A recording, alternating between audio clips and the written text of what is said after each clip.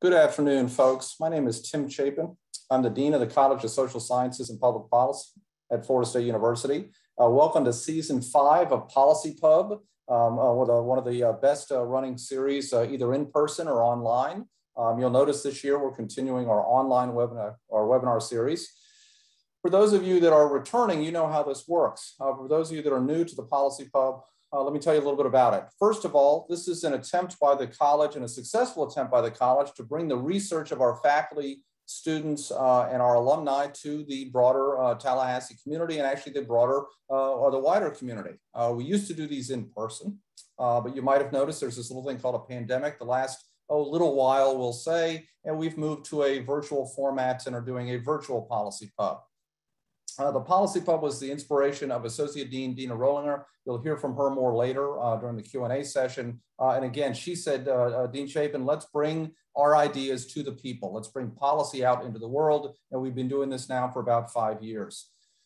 Um, the way this works is we'll have our uh, featured speaker that I'll introduce in a minute. we'll give a talk of about 20 minutes um, and speak on their topic. after that, there's ample time for discussion, Q&A, um, and feedback from the community. Uh, our attendees have a variety of ways that they can chime in. Uh, when we get to the Q&A stage, you can actually post Q&A questions into the chat feature, or you can chime in, raise your hand, and actually ask a, a question during the, uh, the session. Uh, we're here for you to answer your questions and, and uh, get your ideas about the work that we're doing.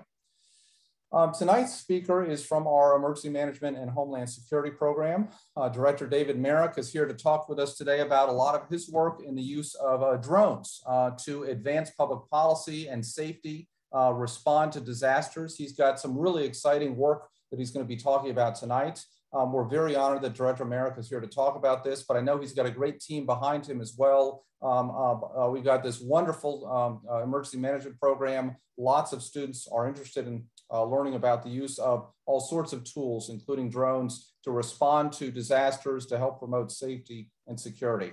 Uh, Director Merrick, I'm going to stop talking now and let you take it over from here. Thank you very much to those of you that are attending. Uh, Director Merrick, thank you for taking your time tonight. Over to you. Thank you, Dean Chapin. I appreciate that very much. And I want to thank everyone for taking time out of their Tuesday evening to, yep, it's Tuesday, sorry, uh, taking time out of their evening and, uh, and joining us here. I'm going to throw a slide deck up on the screen.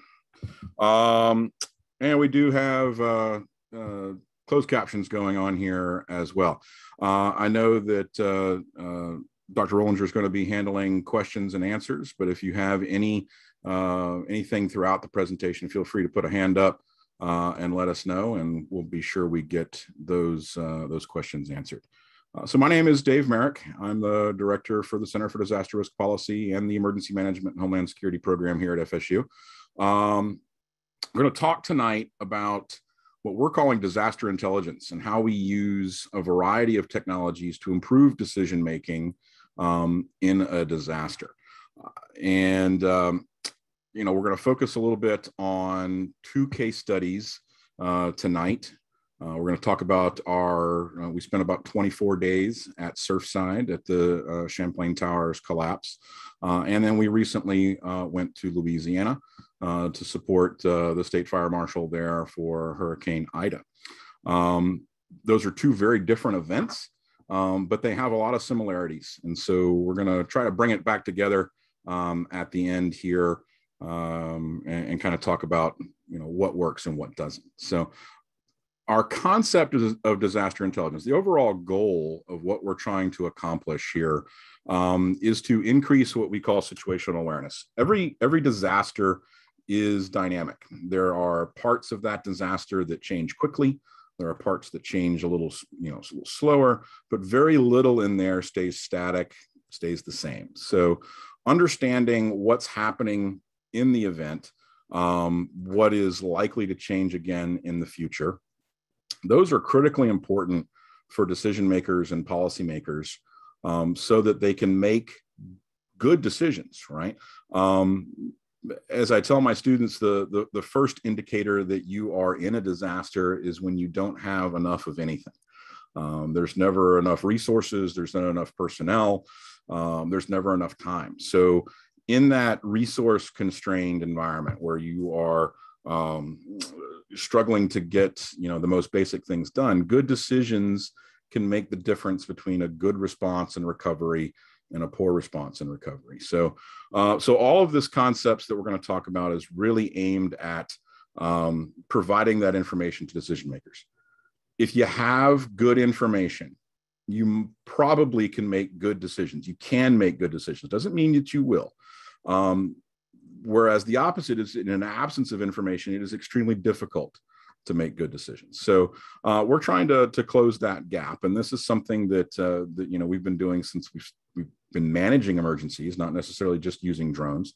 Uh, but this new technology is helping us do this faster um, and in a lot of ways, uh, in a more cost-effective way than we could before. So the first thing we're gonna, the first case we're gonna talk about is uh, the Champlain South tower collapse. Uh, this was in Surfside, Florida. You're all you're all aware. Um, an incredibly tragic event and uh, incredibly frustrating for for all of us that worked on the scene um, because there was a significant lack of progress. Right, um, uh, the collapse happened on on 24 June. Uh, it's on a Wednesday night, Thursday morning. Uh, and that was the last time there was a live rescue. So uh, we spent 24 days um, basically on a on a massive on a massive crime scene, which was um, a challenge in itself. So. So the team request, uh, so CDRP, we've been we've worked as part of the state uh, response team for uh, about six years now. And, and going back farther than that, even if we talk about things that aren't drone or remote sensing related, um, all of our faculty are practitioners. Um, we maintain, uh, you know, keep our hand in the game, if you will. So we were requested by name uh, on Thursday night because of our capability um, and a lot of conversations that in planning that we've been doing with FEMA Region 4 uh, and the FEMA Urban Search and Rescue folks, as well as the state of Florida, on how we were going to use imagery uh, and these new intelligence tools for hurricane season. So um, when the collapse happened, you know, the initial request was, um, let's see if FSU can come down and, and, help us with that. And so we were happy to do that. Uh, we were originally tasked with supporting Florida Task Force One, which is um, one of the two uh, urban search and rescue task forces that's based in Miami. Florida Task Force One is owned by Miami Dade Fire Rescue, um, as well as Florida Task Force Two, uh, which is the city of Miami. So both of those resources went to work uh, on this incident almost immediately um, because you know they're they're right there. Um, in the 24 or 25 operational days, we flew 314 sorties uh, and generated a 1.1 terabytes uh, of data. We're going to give you some examples of what that looked like. There was, uh, we were by far not the only people flying drones. Um, I will say we're probably the only team that was doing uh, true remote sensing and GIS support. Um, but there were teams from fire rescue um, doing what we call overwatch. They're supporting the rescuers on the pile, uh, as well as firefighting operations when that was going on. Uh, from the law enforcement side, there was investigation happening. Um, and then as the event kind of evolved, uh, federal resources like NIST, the National Institute of Standards and Technology, came in. Um, they investigate major structural events in much the same way that the NTSB investigates transportation accidents. So they were flying drones. Um, and then, of course, there was some public outreach and public information going on with uh, with drones. But our our focus was really on this mapping and modeling um, of the collapse site uh, to support the urban search and rescue operations, specifically the planning and the documentation of that.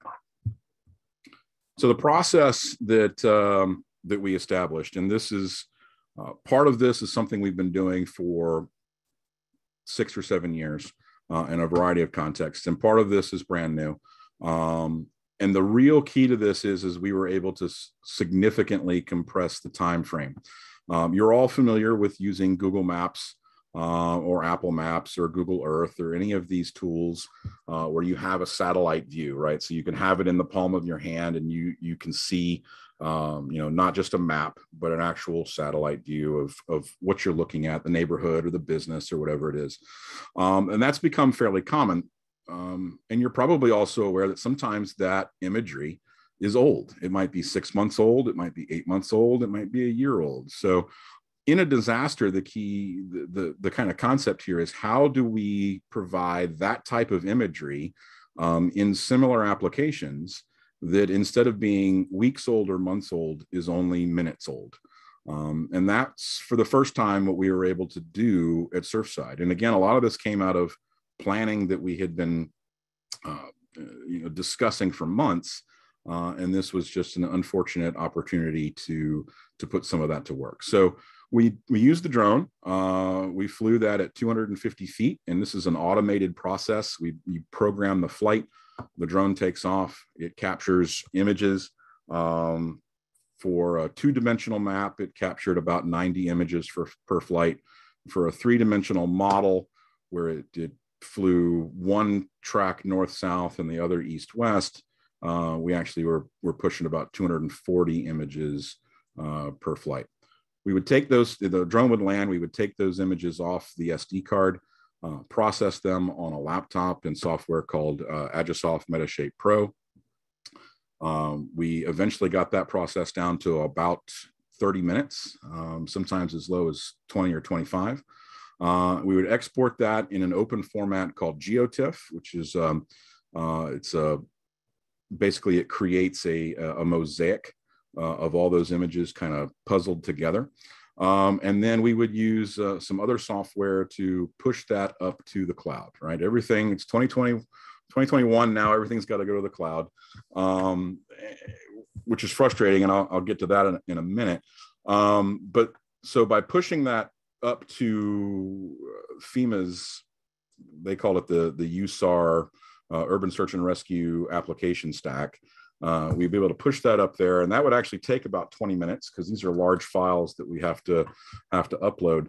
But the result is in about an hour um, maybe an hour and 10 minutes from the time that that drone took off uh, the planning team had an up-to-date map um, in all of their applications. And more importantly the teams working on the collapse um, in all of their uh, uh mobile applications uh, had the most recent map um, and that was valuable for for a variety of reasons. Uh, primarily, as as the event uh, went forward, uh, it was from an investigative standpoint. So, uh, so the mapping process we did that uh, several times a day, and this is an example of the orthophoto or uh, that you would get from that. And this is um, I actually don't know the exact date of this image, but it's prior to July fourth um, because you can see on the left hand side there the there's the standing part uh, of the building, right? The the the Alpha side on Collins Avenue, which is on the left side of the uh,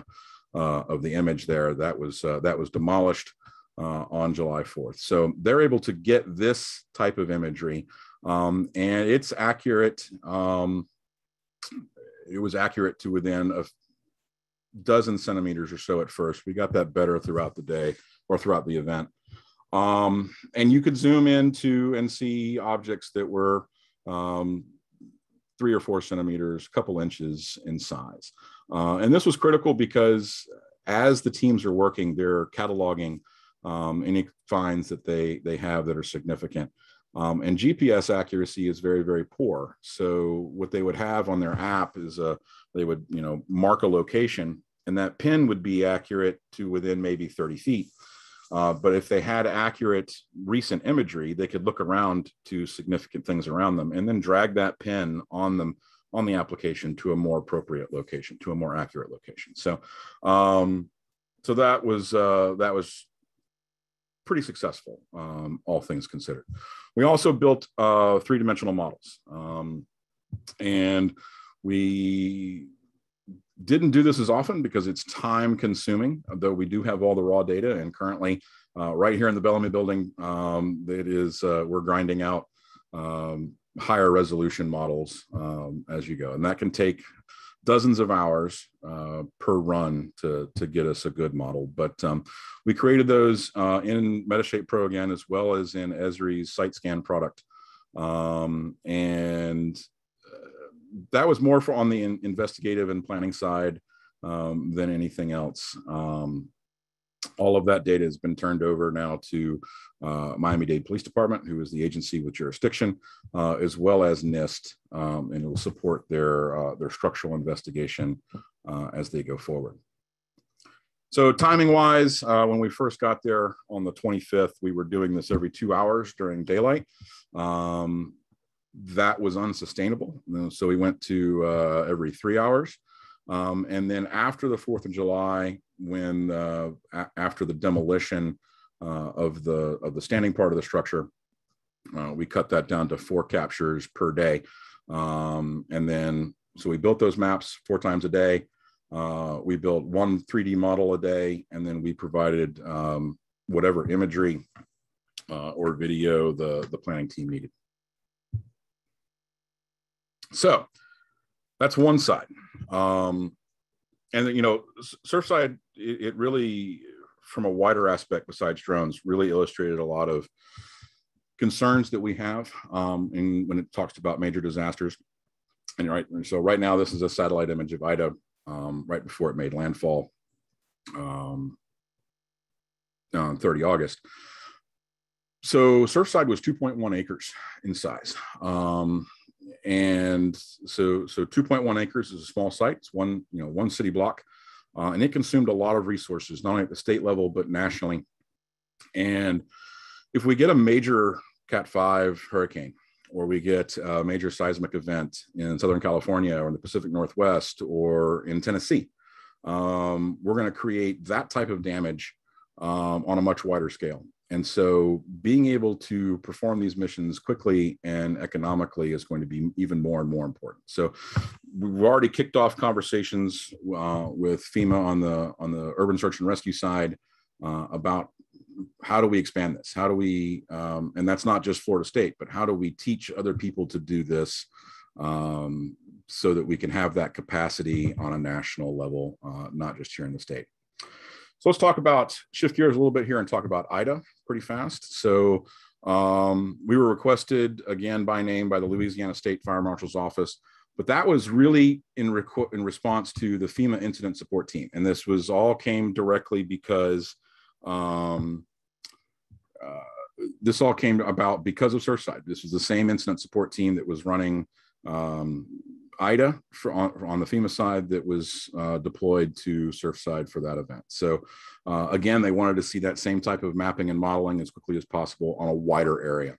Uh, for the first time, and this was uh, it seems minor, but it's a, it's important. This was an EMAC request, uh, Emergency Management Assistance Compact. So the state of Louisiana requested the state of Florida to send us um, and you know that was gratifying because we've been working on trying to get that uh, functional for three or four years now. So um, so the really we spent uh, we only spent three days. Uh, the usar side of things uh, was relatively low key the urban search and rescue side was um, mostly unnecessary right? We the state of louisiana staged a lot of resources in anticipation that uh, ida could be as bad as katrina um, however, that did not play out in the more urban areas, right? Louisiana, uh, or I'm sorry, New Orleans was spared the majority of the flooding, et cetera, that was seen in 2005 uh, because of better mitigation. They, uh, you know, they built back stronger than they did uh, before. However, areas south of, uh, of New Orleans, which are significant and extremely rural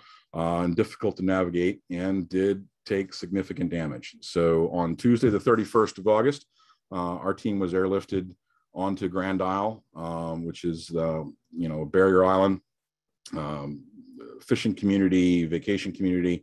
Uh, we were airlifted as part of the Urban Search and Rescue's uh, Rapid Needs Assessment Team. Uh, so there was nine personnel, three of three from our team, uh, three from Texas Task Force One, and three from Maryland Task Force One.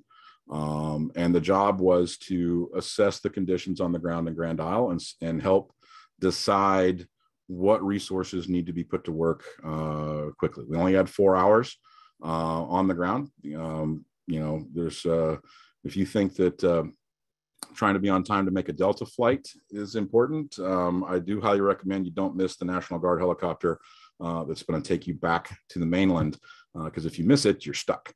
Um, so we only had four hours. That was uh, that was it. And the goal was to assess damage as well as look at transportation, uh, infrastructure, whatever the community needs were, and more importantly, assess the condition of the bridge and causeways. Um, so could you know what needs to be done to get ground resources uh, onto the island. So in that four hours, we managed to cover um, about four and a half to five miles uh, of the island um, with by mapping.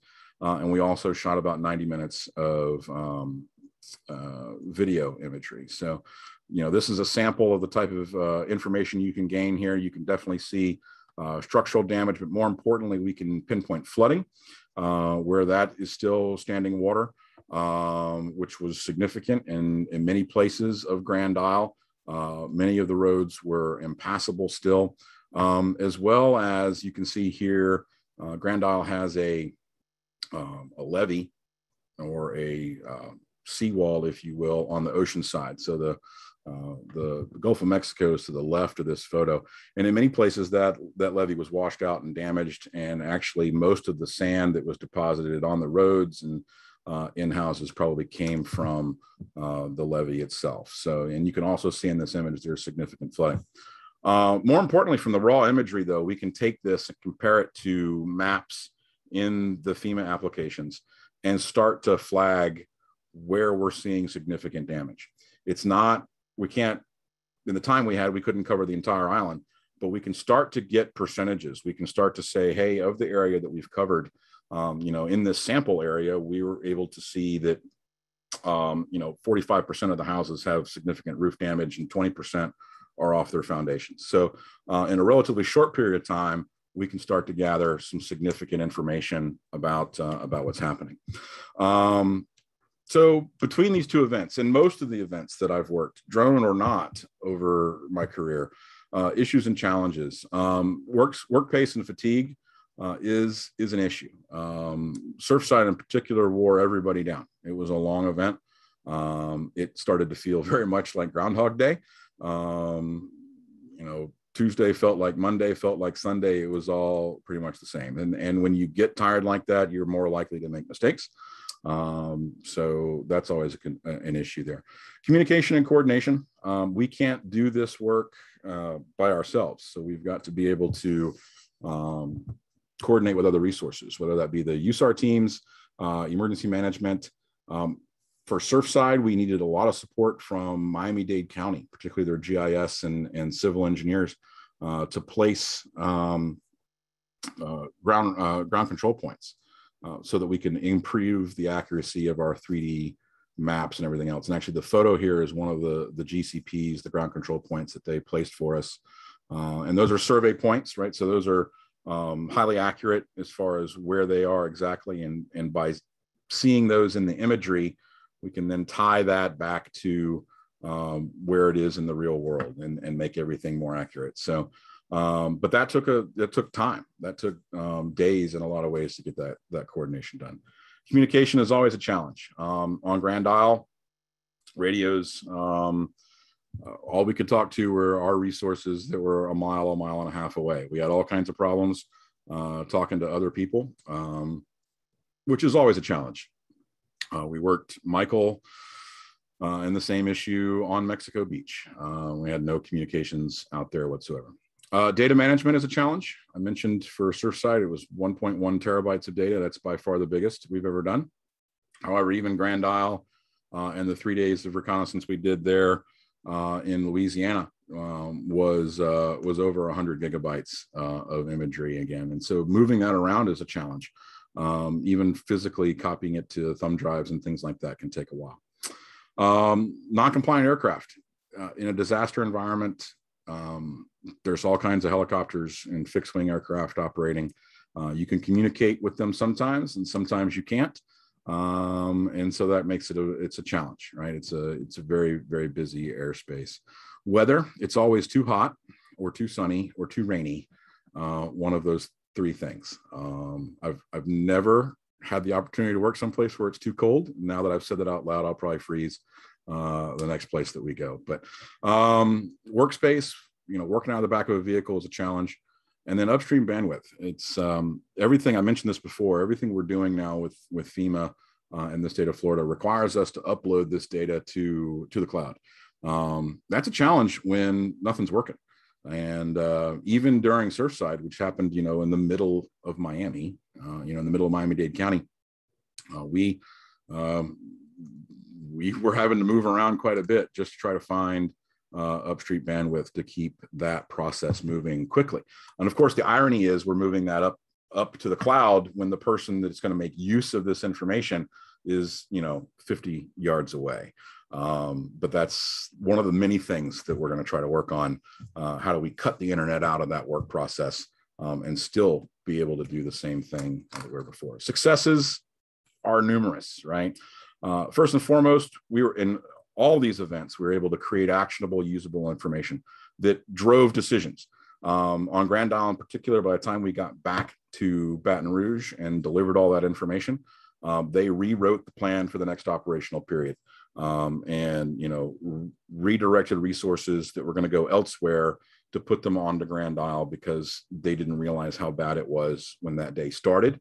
Um, and so, you know, just by being able to do this quickly, um, we're able to to to kind of change the way the response went. Right. Um, FSU, we've we've developed new workflows and procedures uh, as far as how to create that information quickly, how to get it into the hands of people, um, you know, who who need it in a very short period of time is uh, is is key to us.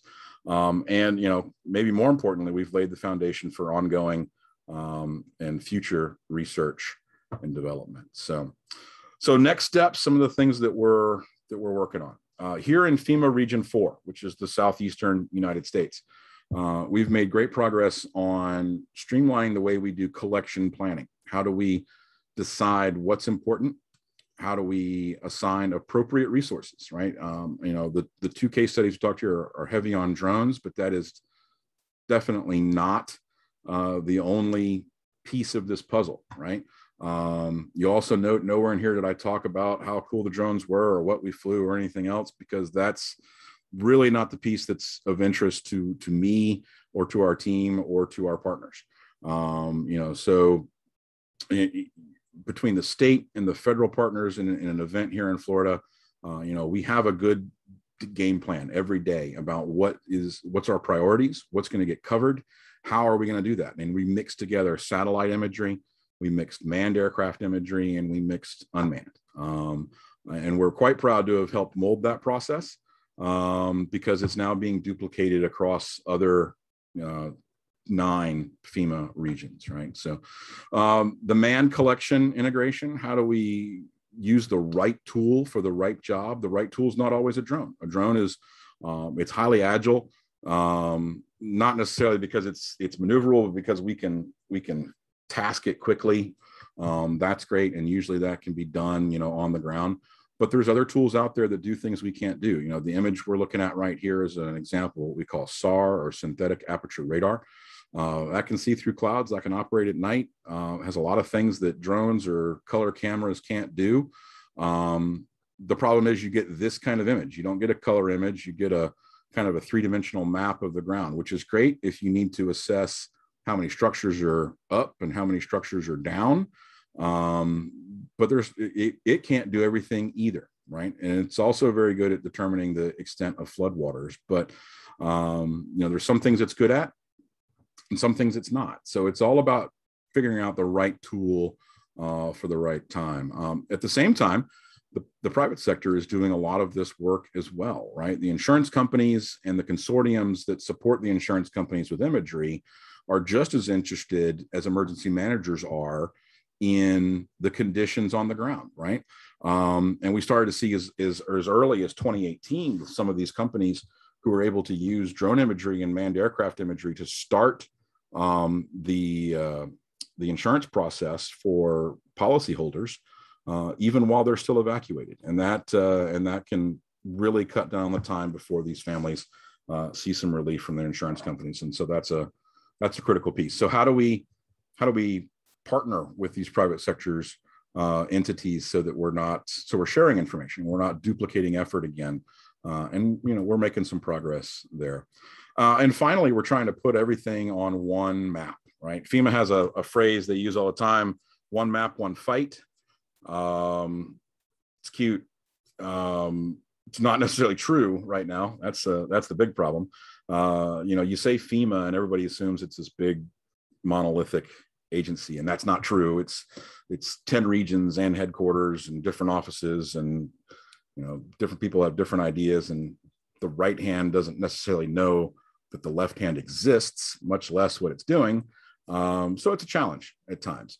Um, so we're trying to build that common operating picture, and how do we put um, USAR rapid needs assessment data together with more traditional reconnaissance together with damage assessment and put it all on a single pane of glass, a single digital map um, that we can use that and include things that uh, we've also been working on here at FSU, um, such as open source intelligence or social media um, and things like that. And because, you know, very often the public is going to tell us what's happening um, in a disaster before anybody from anywhere gets there, right? Uh, you're going to post a video uh, or a picture to Snapchat, and you know that uh, that shan't that we shouldn't discount that.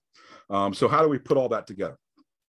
That's something we're working on right now. And finally, we're you know we're helping to create new technology. We just got a National Science Foundation grant um, to use the data from Surfside to help build better robots. Um, you know that was a we threw a lot of technology at the Surfside problem. Uh, some of it worked and some of it didn't. Um, Surfside was also unique in the in the type of collapse that it was. Um, some of the more traditional types of robots may not have worked. So we're partnered with Texas A&M University and Carnegie Mellon University to um, to really help decide what should robots that do wide area search and structural collapse look like. You know, how do we get beyond um, you know the tracked robots or the snake robots or the flying drones and and what's the uh, what what would be appropriate and once we've got that defined then maybe we can well not me because i'm not an engineer but uh, but uh, someone can go forth and, and build that better mousetrap all right i'm going to stop my screen share here um, i think i hit my time mark pretty well Yes, great. Thanks so much, Dr. Merrick. The work that you're doing is so important. I hadn't heard about the grant, so congratulations. I look forward to hearing about that, about robots. It just it's mind blowing in a lot of ways um, how cutting edge, uh, how cutting edge we are. I know. So, folks, just as a reminder, if you would like, you can type in a question in the Q and A. I see um, you the Q and A box at the bottom of your screen you will see a little Q&A box or you can raise your hand and I can unmute you and so that you can ask a question. So raising your hand is you'll see Q&A, chat, share screen and raise your hand along the bottom. Um, I did, I actually wanted to ask you a quick question, mostly a, a bragging point. Uh, the program involves so many students. What are some of the different ways that FSU students are involved in this work? So that's uh, that's a great uh, great question. So we have we have academic courses on UAS and emergency management, and that's um, and we so we see undergrads and grads come through there. Um, however, you know, on both of these events, we had PhD students working with us, right? So uh, Austin Bush, who's a PhD student in geography, um, deployed to both events, um, and you know he, he's he's a wizard when it comes to uh, working some of the software. So, uh, you know, give props where it's due. He's uh, he's done a lot for us on the on that whole workflow side of things. Uh, we also have um, Laura Hart, who's a PhD student here in the Askew School, um, and she worked at Surfside, and know, she's actually deployed for a lot of us, a lot of things over the years. But uh, uh, it is, it's, uh, it's great that we can get students involved um, in little ways and big ways, uh, and more importantly, you know, I love the fact that we go out and do these events and um, we learn, right? So the faculty, the faculty learns about you know how things are being done and that has value in the classroom, right? So when we come back in, we can uh, we we bring the the latest information, if you will, into there. And great. So Chris asks, what drone worked best at Surfside? And I don't know if you can give us just like a little bit of overview of drones. I'm not great. I don't know a lot about drones, so sure. So uh, Surfside, we flew one drone pretty exclusively, and that was the DJI Mavic 2 Pro. Um, we have a lot of lot of tools in the toolbox, uh, but for what we were being asked to do uh, and create those maps on a regular basis, we picked one airframe uh, and just used that. The, the goal was to have as a repeatable a process as possible. So we have a lot of data and it's as similar as it possibly can be, right? So the Mavic 2, for those of you aren't familiar, it's a typical little quadcopter. Um, they're not it's an off the shelf solution, right? You can go buy one um, at Best Buy or Amazon for, you know, 1800 or a couple thousand dollars. It's not, uh, um, but it's a workhorse. It really is. So. Right, great. So Megan asks if there's ever an issue with own, ownership of images as you capture them. In fact, I noticed one of the uh, one of your slides said not for public release. So, and she's wondering, is it different for something like Ida versus something like Surfside, which it might be considered a crime scene?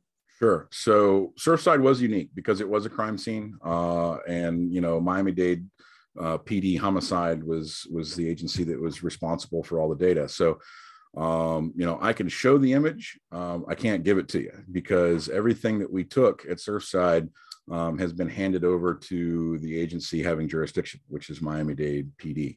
Um, and you know, we we've been asked not to not to share that inform any of that data imagery yet, uh, and so that's fine. Um, we're happy to to comply with that. Other places it varies by jurisdiction, um, who is you know who the requesting agency a variety of things like that. So louisiana i mean we always turn all the data over to whomever is requesting it. Um, you know louisiana didn't have any issue with us using ida imagery. Um, I, I, guess prior to surfside the most restrictive thing i've seen was um, we sent a team as part of an academic consortium to uh, hawaii in 2018 for the volcanic eruption out there. Um, and the Hawaii County, which is the Big Island, and Hawaii County Civil Defense were adamant that no imagery could be released. We couldn't post anything on social media or anything else. So um, it just varies. Um, but you know, as part of the response, we try to uh, we honor the wishes of whomever's running things. Is what it boils down to. Okay, well, and before we were talking, before we started, just a bit about um, some of the privacy issues. How does that fit in? So there's ownership issues, but how does that fit with something like Surfside, or you have to be extra careful about what you're showing because you might show someone's belongings. I have no idea what even issues would be at play in that regard. There's a lot. Um, there's a lot of pieces, and actually, that's one of the reasons that uh, that FEMA and the federal government, you know, FEMA being a, an, a, a division of the Department of Homeland Security, is very leery about having their own aircraft and capturing data because they have very tight constraints on PII or personally identifiable information. They can't store it, they can't create it, anything like that. So, you know, if they have a photo of a person's face um, or a license plate or things like that, that's a problem for them uh, at the federal level. So, and then of course, anything we do that interfaces with them, you know, we have to make sure that we're in line with what they're doing. So, um, back in uh, 2017, um, when we were we worked Hurricane Harvey, and we actually got an NSF grant after Harvey, primarily to create a publicly releasable data set from all that imagery. So we had to go through all the images, all the video, and scrub anything that was identifiable. Um, so addresses, license plate. Not that we get a lot of that, but it, you still got to check it all. Um, and then we made that available to NSF so that they could make it available to other researchers. So, um, so there's that issue. And then from state to state, there's there's a variety of issues. Uh, here in Florida, we have very tightly controlled UAS use on privacy. Um, uh, again, in 2017, we worked Hurricane Irma, and we could do damage assessment for county-owned property. We were in Collier County, so we could take images of things that the county owned, but then when they were looking to do damage assessment of in Immokalee and places like that, we can't take images of private property that we can't see from the road. So there's a lot of uh, a lot of restrictions and and protections in there, honestly, to keep uh, to keep government from, you know, playing Big Brother, I guess. So Laura asks, how heavily does the UAS team work with GIS when responding to different types of events such as Surfside or Hurricane Ida? So the, the the the secret that I don't like to say out loud is that UAS is GIS, right? Because as soon as we, if we're going to make this useful, if we're going to integrate this with decision makers, that has 100% got to be in the GIS realm, right? So um, because for the for the most part, uh, I, if I give you just a, if I shoot some video and give it to you, um, it's not going to have a lot of value because where was that? right? Where where was that geospatially located? What is that showing me? What is that telling me? Uh, and that's where the gis side comes in. So everything we do is to be really useful it's got to be processed uh, and really needs to be a pin on the map uh, somewhere. So that's why that goal is that single map with all the different types of, of imagery and whatnot uh, in there so Chris wonders, and this is a great question. I'm curious about this as well. How do you keep all the entities drones safe from air collisions? Do you have an air boss or time slots for each agency, altitude assignments? How does all that work? Above. Yeah. Okay. So um, it varies by event. So first of all, you know, Surfside was unique for us because uh, one of the many hats I wear with the with the state is in air operations. Uh, and I often find myself in that role of I don't get to fly. I'm going to be the one that coordinates who does what, manned and unmanned. Uh, Surfside, we didn't have that problem. Um, there was a temporary flight restriction put in place. So the FAA restricted all flights, manned and unmanned, in a mile radius around the collapse site. So the only people operating legally, and there were some illegal operators, the only people operating legally were the response partners. We all knew each other really much by the most of us knew each other before we started. Um, and really by a day into the event, we all knew each other. And then we used a super high tech way to coordinate all of that. And that was a WhatsApp group. Um, so we, uh, we all got in a WhatsApp and every time somebody would launch, we would say, announce where we were going at what altitude. Uh, and then we would announce when we're done. So that gave us a, a running dialogue of, of who's doing what and it was hmm. remarkably effective. We didn't have really any issues at all. Um, you get into an event like uh, Michael on Mexico Beach, or I didn't have any gray hair before Grand Isle. That's that's the joke. Um, there were helicopters everywhere, and you know it's our job on the unmanned side to be the ones that see and avoid.